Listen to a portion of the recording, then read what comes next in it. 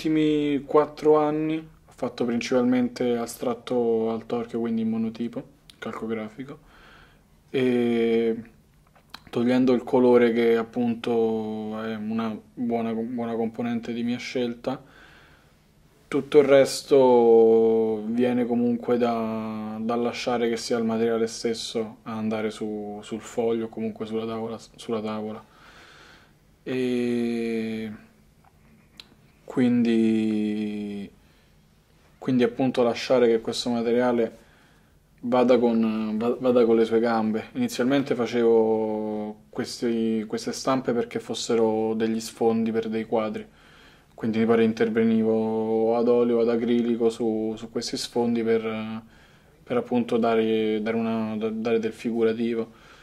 E poi mi sono trovato che trovavo che mi rappresentasse e che rappresentasse di più eh, quello che volevo dire so, solo inizialmente un cosiddetto sfondo. E non volevo più, non volevo più intervenirci, quindi da là ho cominciato a, a lasciare che, che venisse fuori quella parte là senza voler controllare appunto, non voler controllare questo questo materiale che stampavo, non voler controllare né la carta né l'inchiostro né, né appunto io utilizzo tra virgolette materiali inusuali che sarebbe dalla plastica, tessuti, zanzariere, eh, buste della spesa, quello là che inizialmente lavoravo le, le, le, le lastre di plexiglass con, con, con la nitro, con, comunque con dei solventi che le squagliavano, le bruciavo in modo tale da ottenere determinate texture, determinati ambienti.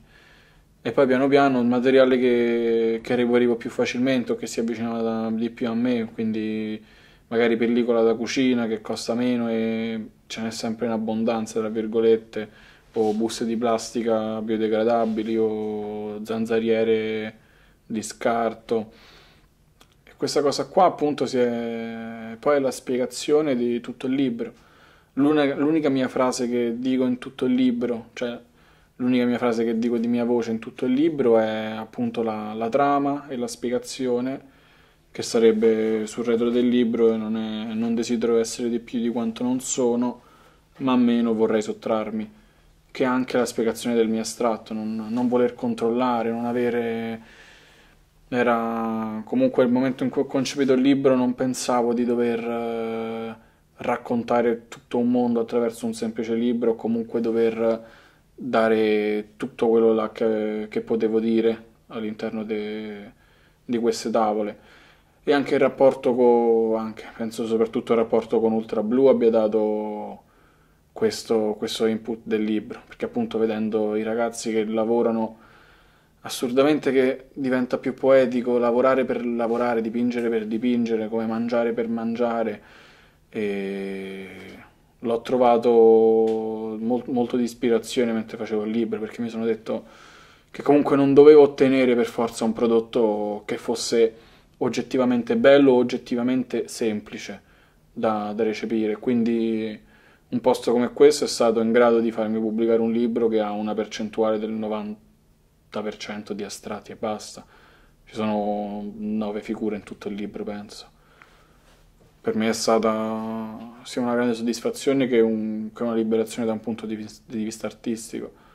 perché ho potuto dare a mio parere quello là che dovevo dire attraverso soltanto gli astratti.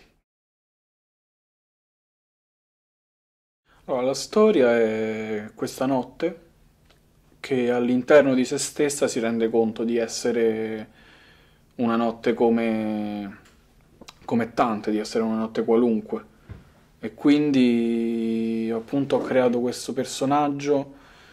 che voleva avesse le proprie idee, le proprie opinioni e un proprio pensiero che esprime attraverso la storia, per quello dicevo prima l'unica frase che dico di mia voce.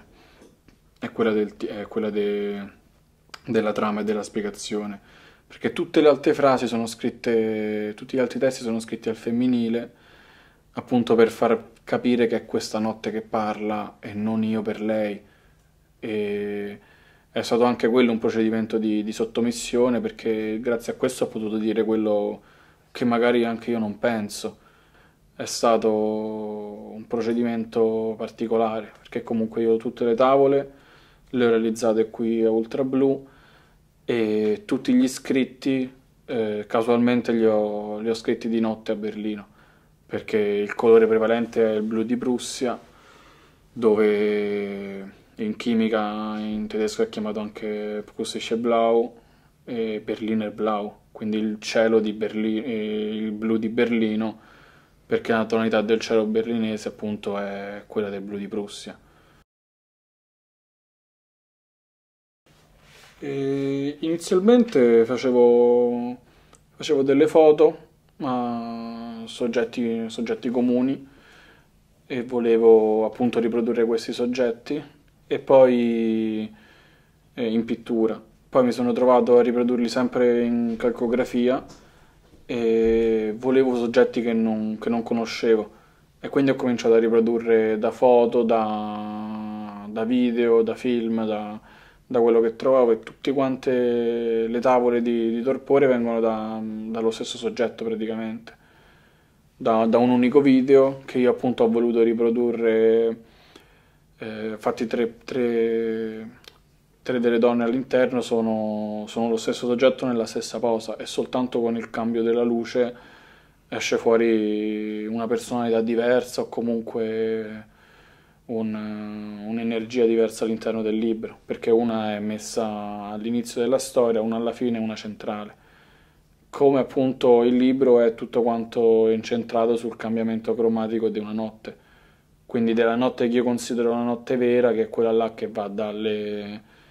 da, dalle 11 di sera fino mm, alle 6 di mattina. Quindi da, dal buio, tra virgolette, un po' più totale per, da, fino, a, fino alle prime luci dell'alba. Infatti il libro è tutto quanto scontornato in nero e all'ultima pagina diventa bianco che è l'unica tavola che rappresenta il giorno. C'è un cambiamento drastico perché appunto nel momento in cui questa notte muore,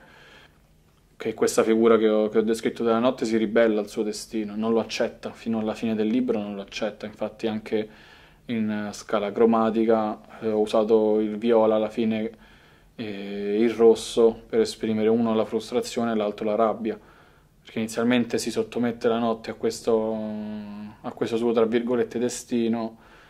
e poi però comunque non lo accetta, infatti l'ultima immagine che si ha prima che si spenga nel giorno è comunque un'immagine di rabbia.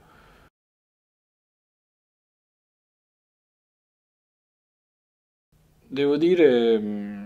serenità e tranquillità, cioè un modo per, per svuotare la testa, appunto. In questa sottomissione c'è anche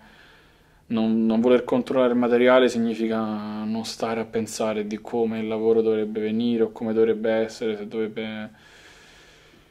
dovesse essere più bello di quello là che potrei fare io, come controllarlo in qualche modo. Quindi questa sottomissione mi fa anche, mi fa anche stare bene, mi fa, mi fa tranquillizzare, diciamo, è anche comunque una, te- una terapia personale per per riuscire a, tra virgolette, a stare più, più con la testa sgombra, più con la mente sgombra.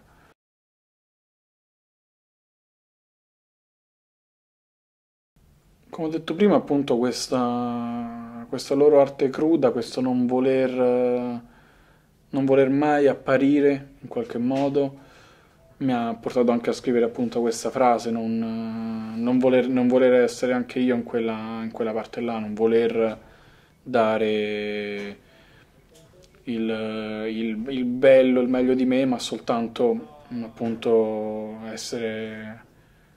essere fare un'arte non, non, canonizzata tramite questo, questo pensiero del bello, questo, questa ricerca. E gli outsider mi hanno, mi hanno fatto appunto vedere questo, secondo me. Mi hanno condizionato nel nell'essere tra virgolette più crudo in quello che, in quello che faccio, non, non cercare di arrotondare questa forma.